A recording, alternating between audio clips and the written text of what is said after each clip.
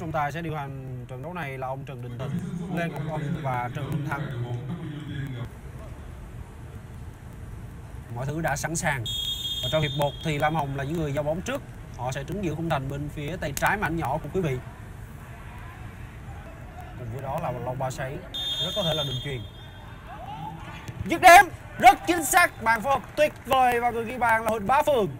Tỷ số đã được mở sau khi mà W Team có được lợi thế về mặt quân số. Bài phối hợp rất hay. Đình Luật sẽ vào để gia cố hàng phòng ngự cho câu lạc bộ Lam Hồng. Nhưng chưa có sự xuất hiện của Đình Luật thì bàn thắng thứ hai đã đến với W Team.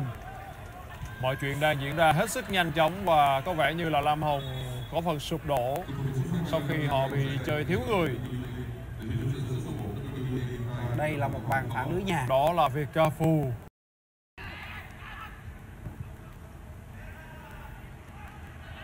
Cường phá điên Rất nguy hiểm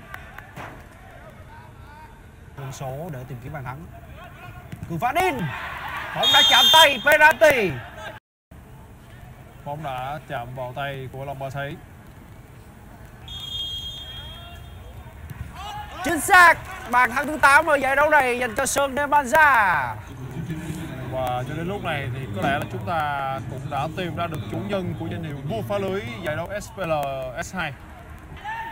Và đây là cơ hội dành cho Đặng Văn Cảm Cặp này đã chơi rất bất ngờ. Đó là một tình huống mà chúng ta cũng phải rất bất ngờ với pha xử lý của Cảm Lầy.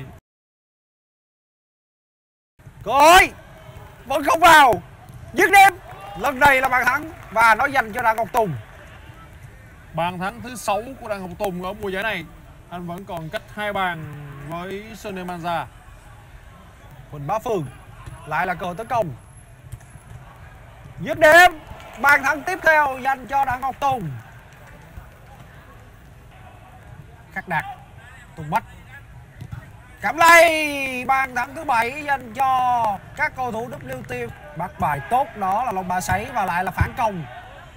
Rất trống trải. Tùng Bách! Tặng Văn Cảm, Tùng Bách đang di chuyển để tìm kiếm vị trí thuận lợi. Khắc Đạt Dứt điểm. Bàn thắng thứ 9 dành cho W Team tặng Văn Cảm.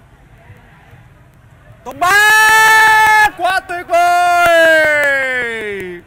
Tuyệt vời cho Đặng Ngọc Tùng. Một cú poker Đường truyền Phải nói là dư đặt Còn vẫn còn cơ hội Bây giờ thì Cảm Lầy chẳng phải để ý đến Tùng Bách ở đâu nữa rồi và mọi chuyện đã kết thúc.